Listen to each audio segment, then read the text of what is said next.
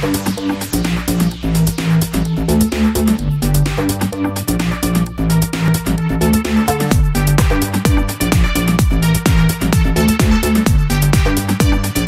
name's Cos Sakkas, International Artistic Director for Toni and Guy, and we're backstage at Paul Costelloe for Autumn Winter 17.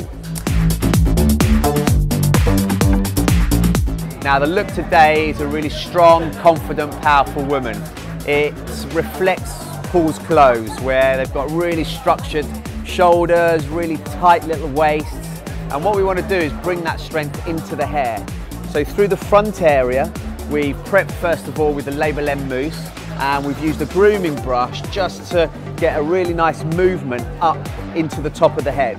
Then from there we've worked into the back and we've tonged but using the Label M wand to do so, so we can be a little bit looser with it. From there we're using the brand new Fashion Edition wax spray through the side area. So spraying that really close to the scalp and using the detangling comb with a really wide teeth to get that nice separation through the side.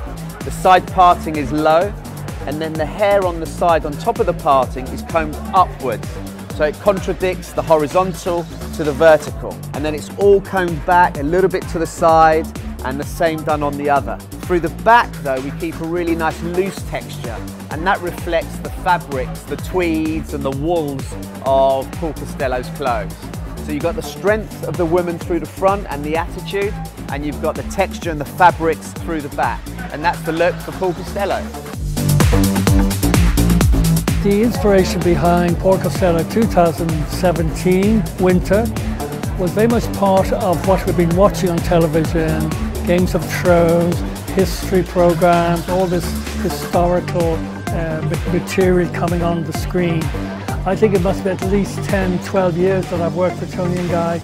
They've always been so receptive, great people, high fashion leaders, um, appropriate to the Paul Costelloe brand. The Toni and Guy and Label M session team are amazing. You know, without the team, it's just impossible to do the show. Uh, to have the team that have got the skill set, the understanding, to be able to create whatever's in our imagination and make it a reality.